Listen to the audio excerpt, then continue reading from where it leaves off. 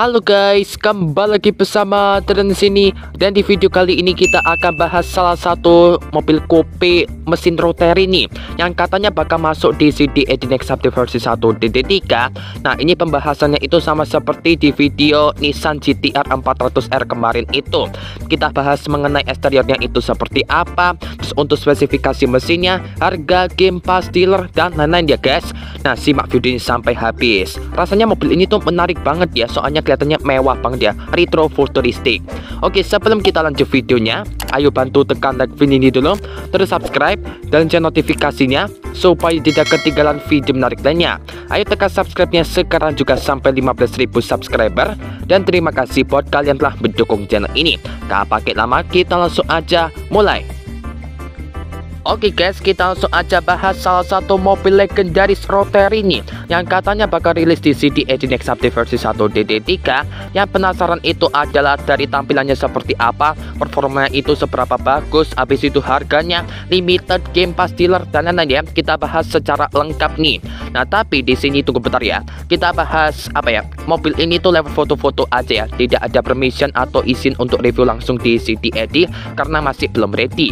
Nah, tapi gue dapat foto foto-fotonya itu lebih jelas, lebih lengkap secara keseluruhannya itu dari Instagramnya Mr. Otnas ya atau Otnas Otomotif nanti gue cantumkan link Instagramnya itu ada di deskripsi ya. Rasanya ini adalah salah satu calon mobil favorit yang Mr. Otnas ya guys sampai di expose gitu ya sampai di post gitu ya guys. Oke mantap lah. Oke guys, ini adalah Mazda Eunos Cosmo 13P dan 20P tahun 1994. Kedua varian itu pakai mesin yang berbeda yaitu 13P dan juga 20P. Tapi sama-sama pakai mesin rotary ya guys. Apakah sistem rotarynya itu sama seperti Mazda RX-7 yang sangat nendang sekali gitu guys? Kelihatannya sih sama ya. Cuma kalau untuk spesifikasi uh, secara kapasitas tenaga torsinya itu masing-masing berbeda ya guys. Oke mantap. Apakah ini bisa lebih kencang dari Mazda RX-7 ya guys? Wah Wah ini gue juga penasaran rasanya seperti apa. Tapi kita tunggu saja kalau misalnya mobil ini tuh hadir di Eddy Next Update versi 1 DD3 Nah sekarang kita langsung aja lihat untuk eksteriornya. Dari Mazda Eunos Cosmo yang 13P dan juga 20P Ada yang varian biasa Ada juga yang versi body kitnya yang pakai RE Amemiya Habis itu ada juga yang pakai velg khusus yaitu yang Advan RGD ya guys. Seperti yang varian body kitnya ini. Kalau kita lihat dari eksteriornya ini sih kelihatan seperti mobil retro yang biasa aja gitu gitu ya. Tapi tidak banyak yang tahu kalau ini adalah mobil Jepang yang paling mewah di masanya dari Mazda nih guys ya.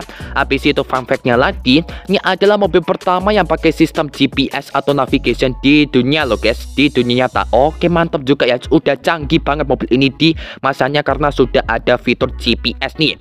Apalagi ini fitur GPS pertama loh guys ya. Mobil lain masih belum ada tuh. Nah sekarang kita lihat dulu dari eksteriornya. Dari Mazda Eunos Cosmo yang varian biasa yang tanpa body kit ya. Mungkin ini adalah varian 13B ini guys ya. Varian termurahnya. Kita lihat dari tampilan depannya. Terutama untuk headlampnya ini sama seperti Nissan Silvia S13 gitu ya. Familiar sekali. Tapi entah lampunya ini 3D atau tidak ya. Cuma kalau kita lihat di sini tuh lampunya masih belum 3D sama sekali. Lampunya ini entah halogen atau LED ya guys. Ya kayaknya sih halogen ya kan? Ini adalah mobil retro gitu. Cuma tidak ada contoh kalau pas lampunya itu menyala nih. Di tepiannya itu ada kuning-kuning. Apakah itu lampu sen ya guys? Tapi kayaknya bukan set marker marker ya. Di bagian bumpernya itu tidak ada fog lamp dan itu warna hitam ya guys bukan warna body seperti varian body kitnya. Di bagian grillnya grillnya itu tidak ada apa-apa ya guys. Kayaknya tidak ada logonya jadi kelihatan polos sama sekali gitu ya. Kalau nggak salah di dunia atas sih nggak pakai logo Mazda. Lalu kita lihat dari tampilan sampingnya Mazda Eunos Cosmo 13B atau 20B yang generasi JC ya. JC atau JC itu adalah kode generasi dari Eunos Cosmo yang ini guys ya. Untuk velgnya ini velgnya itu modelnya 3D ternyata nih. Padahal di dunia atas sih kalau nggak salah velgnya itu masih belum 3D seperti yang ada di foto ini. Mungkin ini hanyalah contoh. Ini tuh pakai velg BBS aftermarket gitu ya. Terus untuk spionnya spionnya itu mungkin warna abu-abu modelnya itu kecil bulat ya. Tidak ada lampu sen di bagian samping. Untuk door handle-nya itu warna putih dan ini cuma dua pintu saja tapi empat seater ya. Dan ini merupakan model coupe ya guys. Coupe Grand Tourer oke mantap ya. Ada jendela belakangnya juga. Lalu kita lihat dari tampilan belakangnya Mazda Eunos Cosmo JC Oke, lampu belakangnya ini masih belum 3D juga ya. Tapi kalau kita lihat dari model belakangnya itu ya seperti mobil-mobil sedan Amerika gitu yang bernama Lincoln ya. Lincoln ya, pokok Lincoln ya sedan gitu lah guys. Mirip-mirip gitu. Untuk lampu belakang ini masih halogen semua. Lampu sen, lampu buturia juga halogen. Di bagian tengah itu ada emblemnya Venus. Nah, itu adalah nama fiksional dari Mazda Enos Cosmo. Nah, jadi fiksionalnya adalah Misada Venus Cosmo CC nih guys ya. Yang varian 13 15 dan juga yang 20P. Oke mantap. Di bagian bumpernya itu ada 4 lubang knalpot kiri dua kanan juga dua.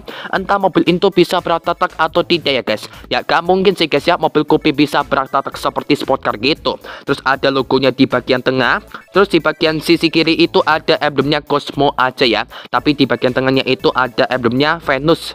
Terus di bagian atapnya di bagian atapnya sih kelihatannya kayak ada tonjolan gitu apa mungkin antena ya guys? Tapi bukan model shark fin gitu guys. Terus di bagian depannya itu ada wiper depannya Bonus ada versi body kitnya juga yang pakai RE Amemiya. Habis itu velgnya ini pakai Advance RGD ya. Tapi entah juga yang versi body kitnya ini dijadikan limited atau tidak atau dibikin optional sebagai aksesoris gitu guys. Atau mungkin ini adalah varian 20p.